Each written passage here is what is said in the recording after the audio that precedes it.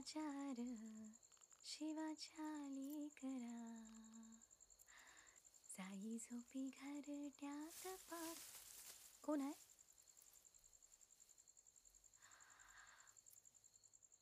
तुझं आबा आलंच त्या म्हणली होती ना बा कोजागिरीच्या हात येईन म्हणून ते झाले ती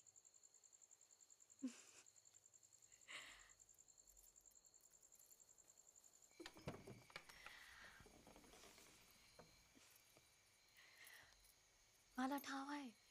तुम्ही चालायचा. आता या पाहून.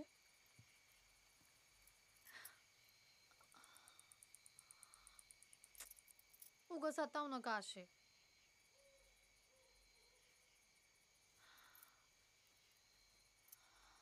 नाहीच का यायचं? मग जातेच मी आत. आणि घेतेच तार लावून. मग बसा रातभर. कुडकुडत. हम्म. आता हे आणि कसले आवाज काढताय धनी उगा लहान पोर.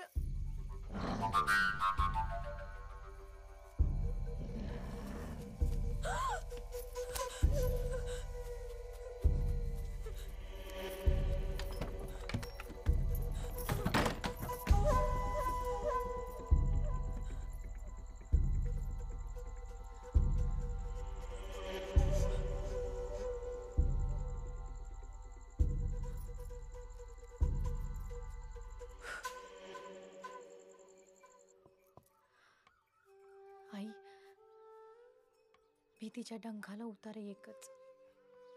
भक्तीचा. तुझ्या भक्तीत कसूर करायची नाही. पण त्या लांडग्याला उमऱ्या बाहेरच येशी बाहेरच ठेवू. कायमचा.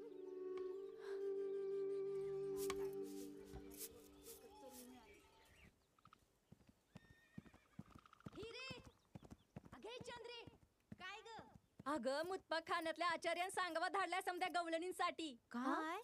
आज दुपारच्या रतिबाचं समद दूध. महाराजांच्या मुतपाक खाण्यात घालायचं हाय.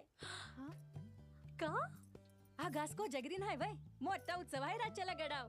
आणि स्वतः सोयरा राणी साहेब समधी व्यवस्था बघणार आहेत म्हण. म्हणजे माझ्या शेवंतीचं दूध थेट महाराजांकडे जाणार? हम्म. चल. सगुने अगं म्या काय सांगती ते ऐक आधी. अगं लई हट करू नगस बघ. आतेबाई काय झालं हो? काय सांगू तुला?